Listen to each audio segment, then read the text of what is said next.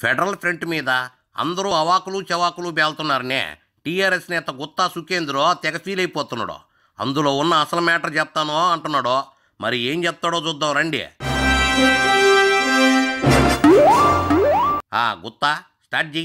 దేశ రాజకీయాల్లో ప్రాంతీయ పార్టీల యొక్క పాత్ర రాష్ట్రాల యొక్క హక్కుల సాధనలో భాగంగానే టీఆర్ఎస్ పార్టీ అధ్యక్షులు తెలంగాణ రాష్ట్ర ముఖ్యమంత్రి గవర్నర్లు కేసీఆర్ గారు చేస్తున్నటువంటి ప్రయత్నాలు మాకు తెలిసిందిలే గుత్తా.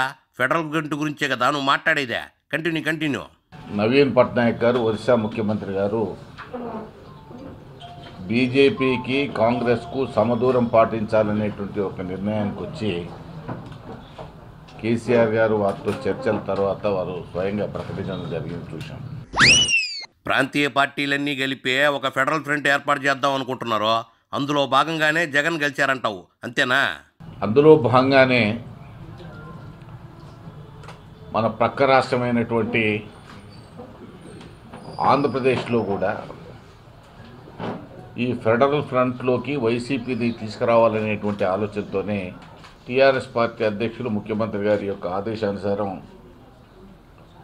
రాష్ట్ర పార్టీ వర్కింగ్ ప్రెసిడెంట్ గారి కార్యనిర్వాహక అధ్యక్షుడైనటువంటి కేటీఆర్ గారి నాయకత్వంలోని బృందం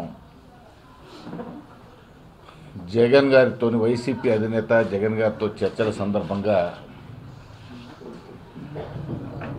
చాలా స్పష్టంగా చెప్తున్నారు మీ లోపాయకారి ఒప్పందాలేందో మీకు తప్ప ఎవరికి తెలియదు కదా? కానీ బయటికి చెప్పే స్క్రిప్ట్ ఉంటుంది కదా? అదే చెప్పు. లేట్ దేనికే? రాష్ట్రాల హక్కులు సాధన కొరకు కేంద్రంలో ఇప్పుడున్నటువంటి రాజకీయ పరిస్థితులను దృష్టిలో పెట్టుకొని మూడవ ప్రత్యామ్నాయంగా ఫెడరల్ ఫ్రంట్ యొక్క పాత్ర పదవుల కన్నా రాష్ట్రాలకు వచ్చేటువంటి అధికారాల విషయంలో కానీ వీటి మీద రాష్ట్రాలకు రావాల్సినటువంటి హక్కుల విషయంలో కానీ పోరాడాలనేటువంటిది ఫెడరల్ ఫ్రంట్ యొక్క ప్రధాన ఉద్దేశం అని గౌరవ కేసీఆర్ గారు చాలా సందర్భాల్లో పత్రికా విలేకరుల సమావేశంలో చెప్పారు. ఇతర రాష్ట్రాల ముఖ్యమంత్రులతోని లేదా పార్టీ అధ్యక్షులతోని చర్చల సందర్భంగా కూడా చెప్పినారు. Okay okay. బాగా చెప్పారు. మాకు అతికినట్టే కనబడుతుందిలే. ఇదేనా? ఇంకేమన్నా చెప్తారా అని ప్రతిపక్షాలు అడగతుల్లా? ఎప్పుడైతే గౌరవ ముఖ్యమంత్రి గారు ఈ ఫెడరల్ ఫ్రంట్ ప్రయత్నాన్ని ప్రారంభించినారో ఆనాటి నుంచే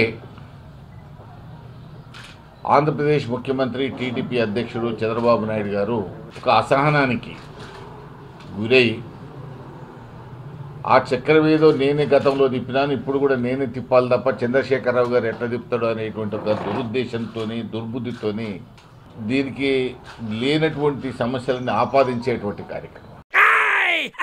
చంద్రబాబు సీనియర్ కాబట్టి ఆ మాత్రం చక్రం తిప్పలేనా అనుకుంటా ఉంటాడో?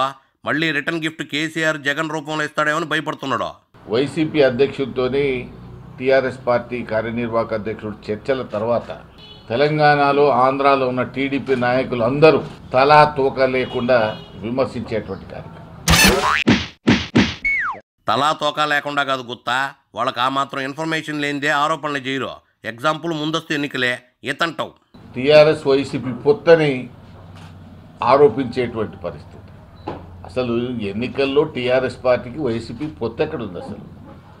ఫెడరల్ ఫ్రంట్కును ఎన్నికల పొత్తుకు తల తెలియనటువంటి అజ్ఞానులుగా టీడీపీ నాయకులు ఉన్నారు ఇవాళ.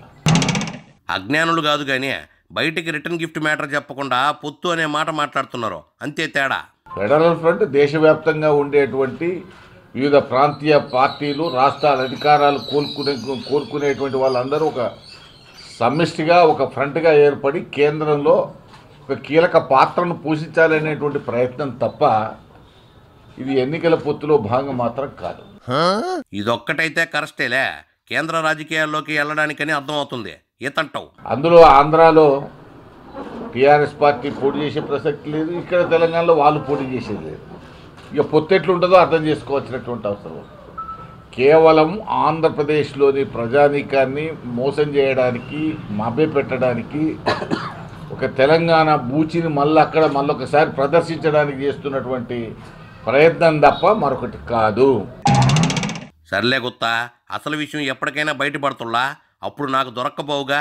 మరి దేవినేని మాటల మీద నీ కామెంట్ ఏంది ఒక దేవినేని ఉమ్మ గారు నేను ఒక పాఠం చదువుతున్నాడు. తెలంగాణ ఉద్యమంలో కేసీఆర్ గారు ఆభిధ్యాన్ని ఇట్లుందన్నాడు ఇది అట్లుందన్నాడు అది సంస్కృతి ఇట్లుందన్నాడు.